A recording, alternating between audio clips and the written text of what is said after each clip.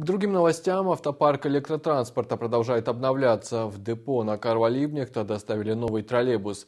Низкопольная машина яркого желтого цвета совсем скоро выйдет на городские маршруты. И это не все перемены в работе предприятия, которые жители Мурманска увидят уже в этом году. Предприятие «Электротранспорт» ежегодно старается покупать новые машины и заменять исчерпавший ресурс. В этом году в планах у руководства компании покупка 12 троллейбусов.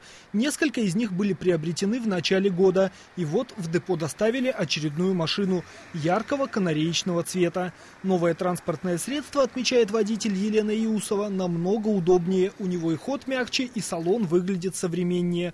Работать на таких троллейбусах приятно. И ручник удобный не надо напрягаться. И обдув э, кабины водителя, он не шумный. Гидроусилитель, он не шумный, не давит на уши. Это тоже немаловажно. Вот, потом э, торможение э, плавное.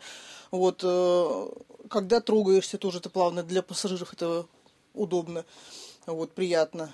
Вот. Ну и обновление салона, кабины, большой простор, вот, управление рядом.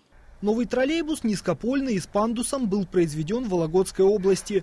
Передвигаться в нем без особых проблем смогут и инвалиды. И обновление парка техники не все новшества, которые в 2017 году ждут клиентов электротранспорта.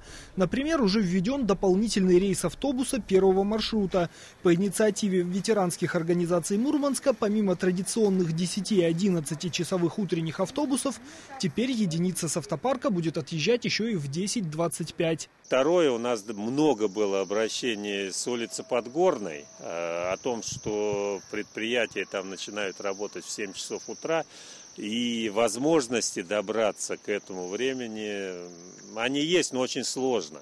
Особенно нет связи с Ленинским районом. И с 20 марта мы планируем тоже в экспериментальном порядке ввести рейс э, по 11 маршруту. Вообще этот маршрут работает от улицы Мира до нефтебазы, но он пойдет с Ленинского района, из нашего второго депо с улицы Свердлова по проспекту Героев Североморцев и далее уже с улицы Гниповича по 11 маршруту до нефтебазы. Планируется поработать и над внешностью мурманских троллейбусов и автобусов. Машины основательно почистят, некоторые уже к осени перекрасят. Также в связи с тем, что дорожное движение в Мурманске из года в год становится интенсивнее, изменится подход к обучению водителей троллейбусов и автобусов. А для пассажиров напечатают памятки, как правильно вести себя в салоне автотранспорта и что делать при ДТП. Эти меры позволят сделать передвижение в общественном транспорте безопаснее.